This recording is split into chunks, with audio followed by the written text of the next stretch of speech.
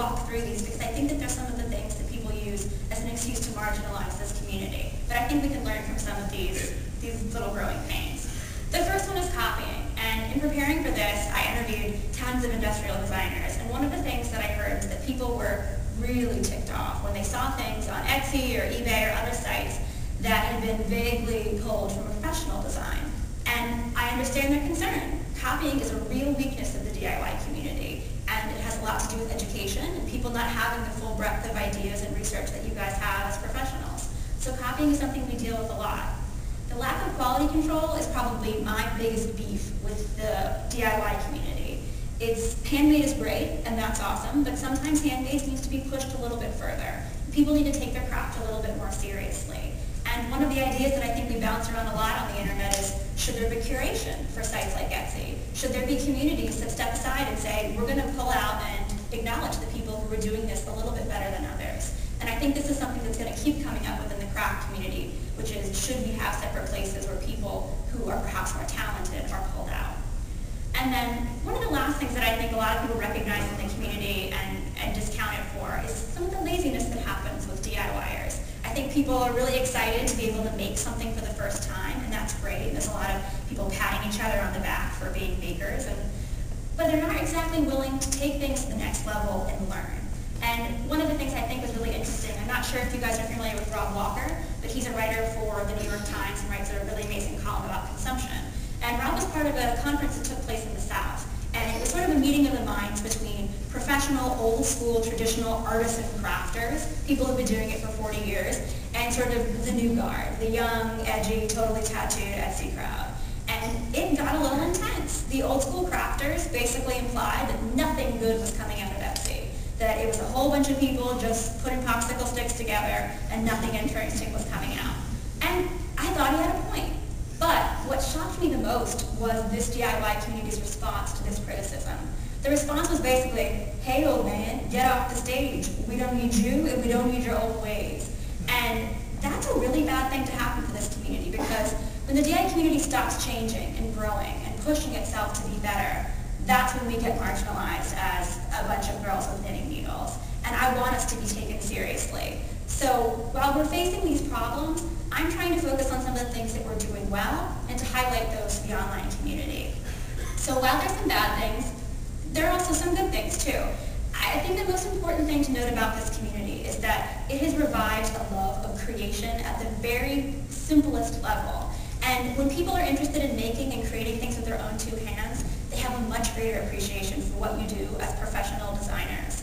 And I think something that's dear to my own heart is the fact that this crafting movement has brought a revived interest in traditional handicrafts, things that I think were almost insulted online for a long time. Things like weaving and crochet and knots and needlepoint, things that are sort of your grandmother's crafts. These are coming back in really radical ways and are being combined with sophisticated design to create something really special.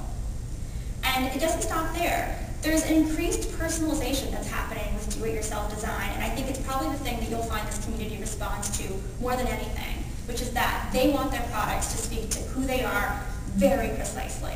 It's not enough to just have a certain colored object. It's not enough to be able to choose the shape of the pattern. They want to have a say in exactly the thing that shows up in their door. And obviously that's going to be limited to a small run product, but it's incredibly important to this community. And I think it's important for professional designers to take note of. So I think this renewed interest in personalization is something that will continue to inform professional designers. And another point that I think is, is really crucial to this community is they've given up a lot to do what they're doing.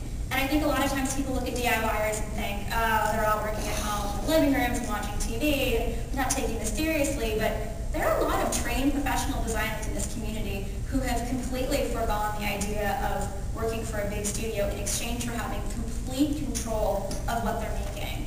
In part of my research, I talked to a designer who was professionally trained and had a PhD and had a really great, cushy job designing office furniture. And she completely gave it up. She was diagnosed with a life-threatening illness and decided I was going to, she was going to evaluate the choices she was making in her life. And that first choice was to quit her job. She gave up her health insurance, which was crucial for her at that point, and she gave up her, her cushy salary. And that was so she could make things that mattered to her. Luckily, she made it through the, the health issues she was having, and she's now creating things and selling them solely on Etsy. Is she living really comfortably? No. But she's living making the things that she wants to live. And that is so important to this community. And I think it's something that everybody can identify with as a maker. And I think it's something we could really learn from this community to give up a little bit of comfort in exchange for having more control over the things that we produce. And last but not least, I wanted to talk about some of the ways that I have been trying to push this community forward with the platform that I have. I think that people online, whether they're bloggers or people who moderate forums or just are influential in the online community, we have a responsibility to push this community forward and try to push it closer to the professional community. For me, the simplest way to do that is to highlight people who I think set great examples. And for me, that's people who have found a way to combine the traditional handcrafted elements of craft with something more sophisticated. So this is one of my favorite artists I've been focusing on these days. She's a Brooklyn-based designer named Lindsey Adelman. And Lindsey has combined really beautiful knot work that she does in a studio by herself with very sophisticated lighting. And this is the sort of product that has been able to cross over from garages in Brooklyn all the way up to very fancy penthouses on the Upper East Side. And it's fascinating to watch the people who walk out with these sorts of things from stores in Brooklyn because it's crossing over out of the crafty audience into the people who have money and the people who start to shape how well design like this does. Another great example of this is an artist named Jean Powell. Jean is selling her work on Etsy, and she's hand-turning wooden candlesticks that she's selling. They're very simple, but the quality on them is impeccable. And people like this selling on Etsy are a boon to the community because we need to be seeing people who take their craft seriously and are, very, are paying attention to the consistency of their work. A lot of times Etsy work can be a little dodgy and you may not have the same quality in every item that you get, but people like Jean are really raising the bar. I also really enjoy people like Karen Combs from Namara Coco. She's a wonderful example of someone who stepped into the very high-end design scene and has turned that on its head with handmade wallpapers. Now wallpapers is sort of, for me, is sort of a, a world that's often typified by machine, machine-created wallpapers, fancy damask patterns, old ladies in fancy apartments who have $300 to spend on a roll. But Karen sits there with a paintbrush and hand paints things by herself and sells them in very small quantities. And she's created a product that has completely connected with both the high-end and the low-end community. And she's done that by making it feel handmade. And that sort of handmade look and feeling the artist's work in the actual finished product is something that's really a hallmark of the DIY community. Now some of you may be familiar with Amerindian. They're a group in Africa that's pulling out traditional African handicrafts and turning them into amazing contemporary products. They made a huge splash at ICFF, the International Contemporary Furniture Fair, uh, about three years ago, and they've been doing amazing things since. And they're weaving. They're doing very simple processes, and they're turning it into incredibly sophisticated goods.